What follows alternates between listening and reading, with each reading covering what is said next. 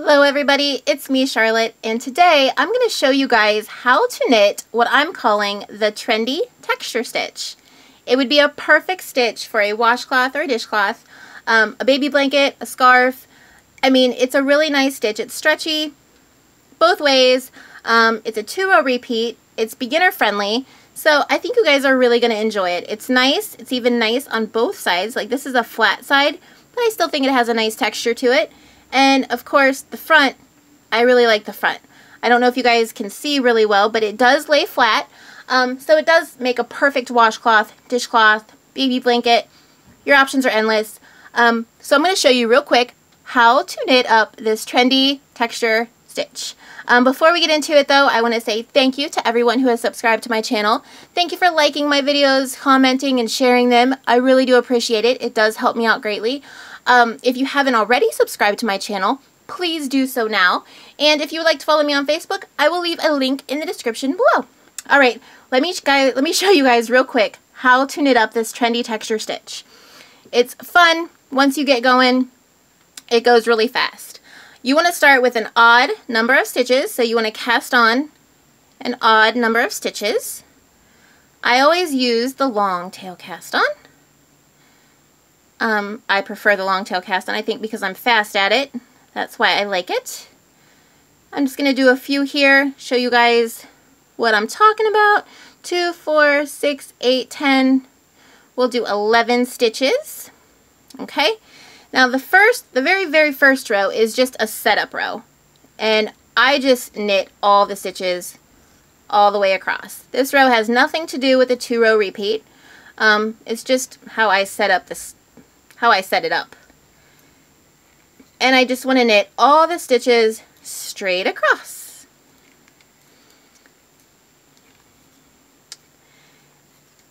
I'm sorry I'm not a fast knitter.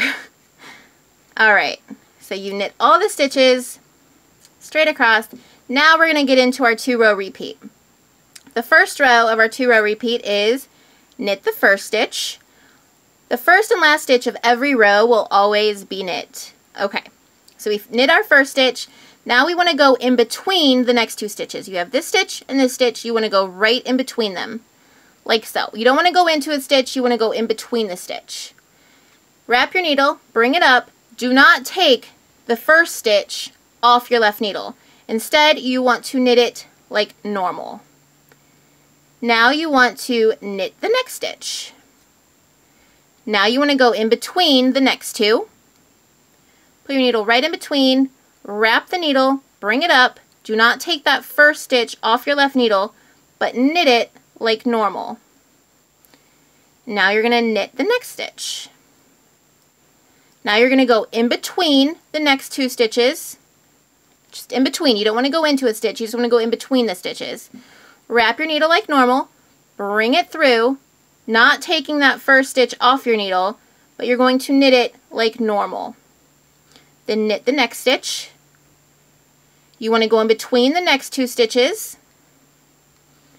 Wrap your yarn, bring it through, leave that first stitch on your left needle and knit that as normal. Knit the next stitch. Now you want to go in between your last two stitches. In between, wrap your needle, bring it up. Now you want to knit that stitch that's still on your needle. And then you want to knit your last stitch. Okay, that was row one.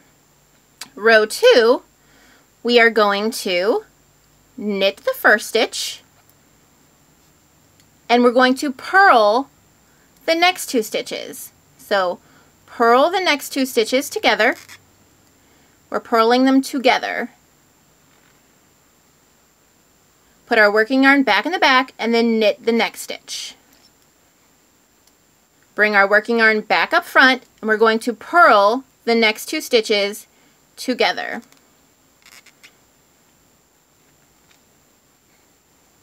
Take our working yarn, put it back in the back, knit the next stitch, bring our working yarn back up front and purl the next two stitches together.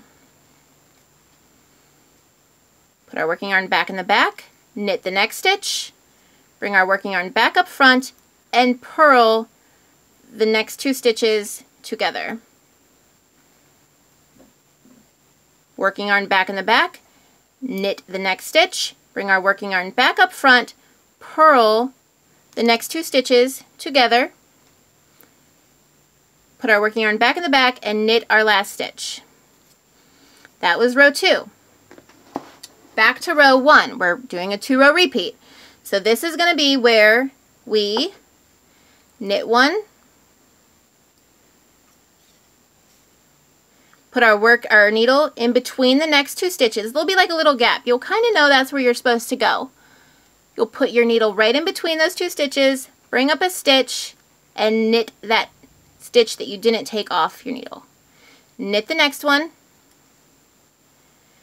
put your needle in between the next two, bring up a stitch, not taking that first stitch off your needle, but knitting it like normal, and then knitting the next stitch.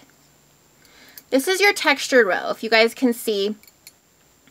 This is where your bumpy texture is. That's how you know you're going to be on the row to, you're going to be sticking your needle in between stitches to pick up stitches.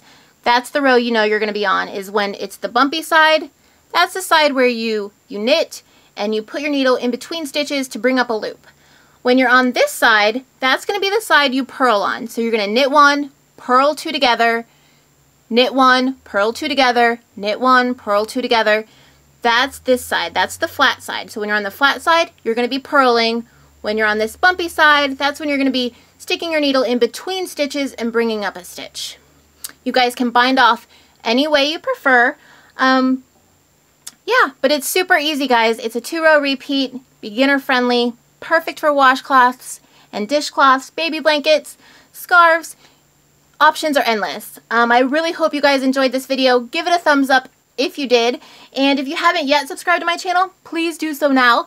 And the link to my Facebook will be in the description below. Until next time, guys, I hope you all have a fabulous day and happy knitting. Bye!